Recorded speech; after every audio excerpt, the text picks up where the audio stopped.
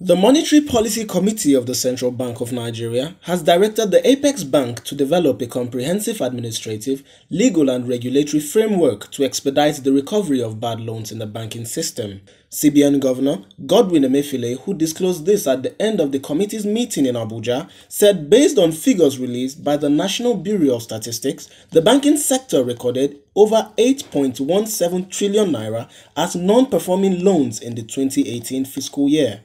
He noted that the MPC also urged the CBN to engage relevant stakeholders and authorities in order to mitigate credit risk as well as open up the credit delivery space in the system, adding that the Apex Bank would provide a mechanism for limiting deposit money banks' access to government securities. The CBN governor further said the move would help to redirect the lending focus of banks to the private sector and boost the much needed growth in the economy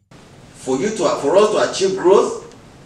those whose primary responsibility that it is to provide credit who act as intermediaries in providing credit and and and, and, and accord a catalyst to credit and growth in the economy must be seen to perform that responsibility. And that they would rather than perform that responsibility to the private sector that is the engine of growth of an economy Instead of doing that, that they will be directing their liquidity to other sectors um, of the economy is what the MPC frowns at and has therefore given the management the power to think of what can we do to limit their, their propensity or their appetite for just going for government securities rather than just rather than uh, directing credit to the private sector of the economy.